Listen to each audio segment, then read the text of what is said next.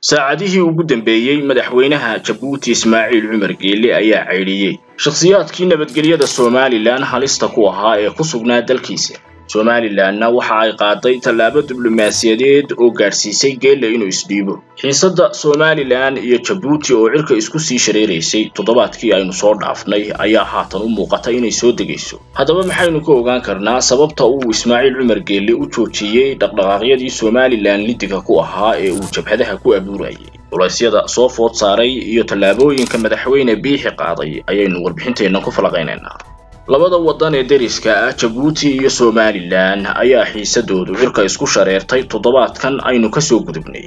Kadib markii uu madaxweynaha jamhuuriyadda somalilan muuse biixi cabdidaaha ka rogay. Jabuuti inay ku howlan tahay nabadgelyada somalilan sidii ay u khalkhalgelin lahayd. Abuurayso jabhado sida oo kalena soo dhoweysay shakhsiyaad nabadgelyada somalilan ka soo horjeeda doonayana inay qalalaase kala duwan ka fuliyaan gobollada galbeedka somalilan. Hadalkani ayaa noqday jallaafo weyn oo loo dhigay jabuuti. Hanjabaada etoobiya ayaa soo labaysay oo ahayd tallaabo diblomaasiyadeed oo cadaadis xooggan saaraysa dowladda jabuuti. Ismaaciil cumar geelle oo meel ka tooboon waayey inuu somalilan khalkhalgeliyo markii uu eegay danihiisa siyaasadeed iyo damaca dhaqaale ee ay jabuuti leedahay ayaa haatan ay u muuqataa inay waddadaasi ka soo oodmayso.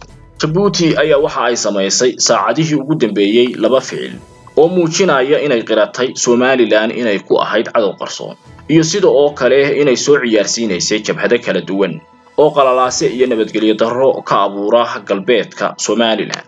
Lamber kow shakhsiyaad halkaasi ku sugnaa oo awdal state la baxay ayay jabuuti masallaha u daadisay toddobaadadii aynu soo dhaafnay casumaado waaweyn ayaa loo sameeyey iyada oo la muuneeyey hase yeeshee dhawaqa madaxweyne biixi ayaa beddelay.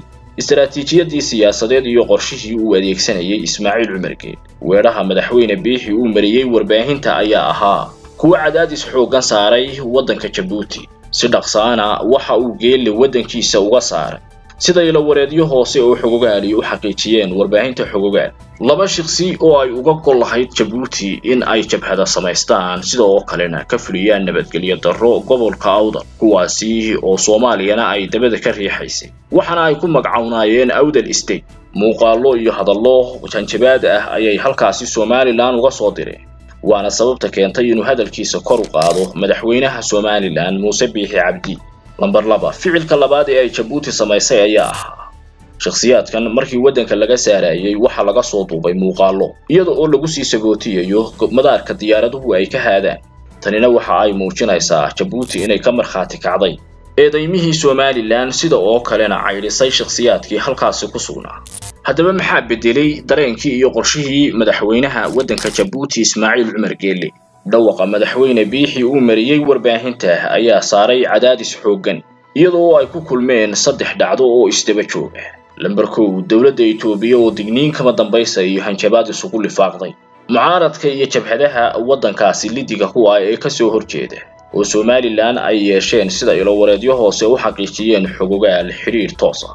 Iyada oo xogaha qaarkoodna ay sheegayaan inay xubno ka mid a mucaaradka waddanka jabuuti yimaadeen magaalada hargeysa tanina waxa ay ku noqotay dhacdo halisa oo aanu dhaadaynin soomaaliya oo wadahadalka foolkafool ah oo geelle ka maqan yahay la yeelatay dowladda etoobiya ayaa ahaa dhambaal kale oo geelle aan ku dhiirigelinayn.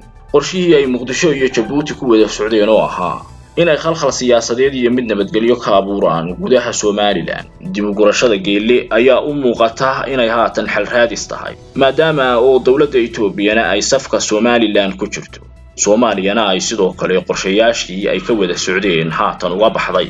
Waxaana ay ku khasbaysaa tani inuu xiisadda iyo xaraaradda haatan somalilan iyo jabuuti ka dhexaysa hoos u dhigo isaga oo aan marnaba ka tanaasulayn ismaaciil cumar geelle danihiisa dhaqaale iyo kuwa siyaasadeed ee uu gobolka ka leeyahay aqoonsiga somalilanna ogolayn ayaa haddana waxa uu muujinayaa dib ugurasho diblomaasiyadeed iyo inuu xal waara doonayo iyada oo tallaabooyinka ay jabuuti saacadihii ugu dambaysay qaaday ay muujinayaan inay si deg dega uga jawaabtay iyada oo qiraal ah eedaymihii somalilan haatanna geelle uu doonayo hargeysa iyo jabuuti in ay derisnimo ku wada noolaadaan.